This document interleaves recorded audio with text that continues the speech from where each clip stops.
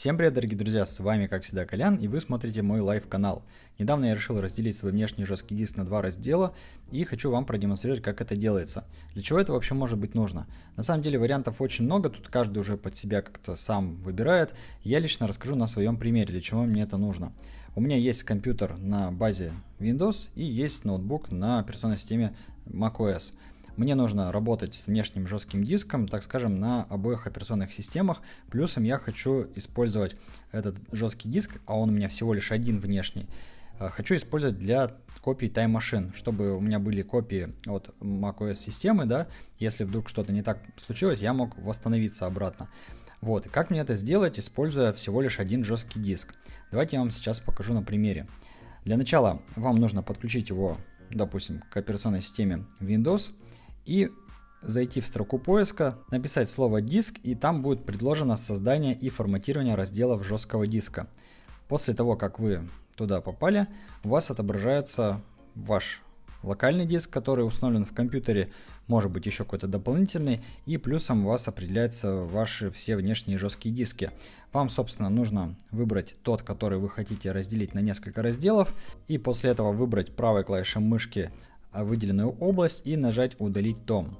Далее вы увидите нераспределенную область, можете даже зайти в мой компьютер, чтобы убедиться в том, что ваш внешний жесткий диск пока что на самом деле отсутствует. То есть да, он подключен, но компьютер его, так скажем, не видит, потому что нет размеченной области.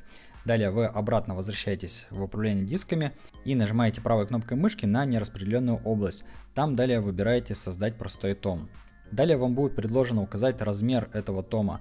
То есть тут вы можете изначально просто взять свой внешний жесткий диск, да, примерно прикинуть, насколько частей вы хотите его разделить и как, в каком процентном соотношении, 50 на 50, 60 на 40, либо там, не знаю, э, сделать, к примеру, 2 по 25 процентов, да, и, допустим, 1 на 50 процентов. В общем, выбирайте столько, сколько вам нужно и нажимаете кнопку «Далее». Далее вам будет предложено выбрать букву для этого внешнего жесткого диска, можете выбрать абсолютно любую, которая вам нравится, и выбрать файловую систему при форматировании.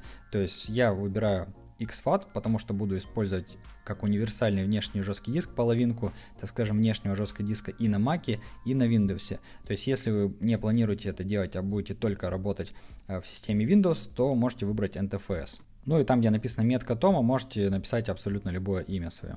Нажимаете кнопку «Далее» и готово. После чего ваш внешний жесткий диск уже будет разбит на половинку. Далее со второй половинкой делаем все то же самое. Также нажимаем правой кнопкой мышки и создаем опять же новый том.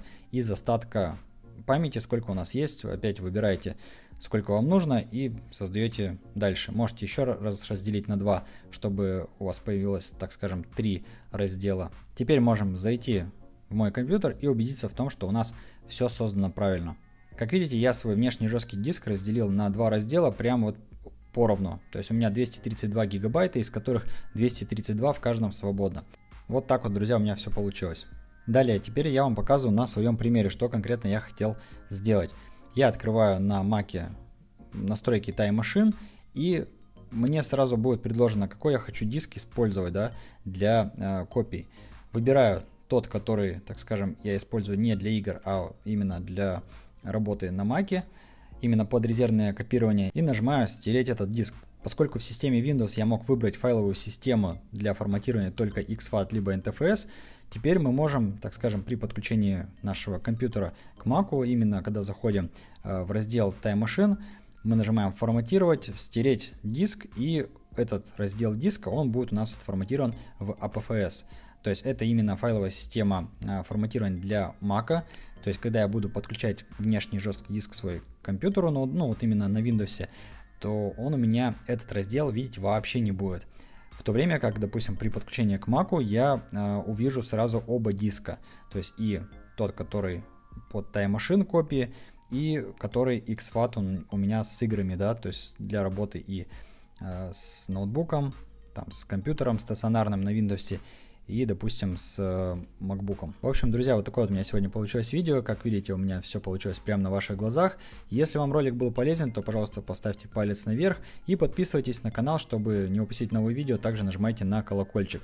С вами был, как всегда, Колян. Всем желаю удачи, всем пока-пока.